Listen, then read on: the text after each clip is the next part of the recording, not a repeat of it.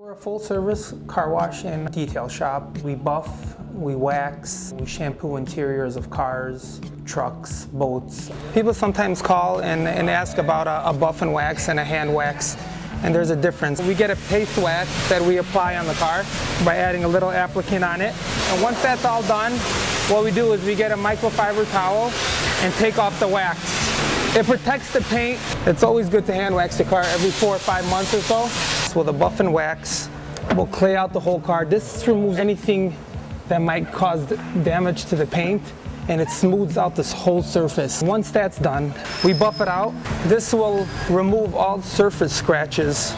Well, the difference between a car wash and detailing is that detailing is more thorough. A car wash is a general, basic, good cleaning. Our top washes are platinum wash, which consists of express wax, undercarriage cleaning, shampoo to floor mats. whole procedure in washing the car is by hand. With a machine wash, it doesn't clean as thorough as a hand wash would be. It's pretty good to wash the car on a, on a steady basis. We have a lot of experience when it comes to detailing. We offer just not a great detail, but a great car wash as well.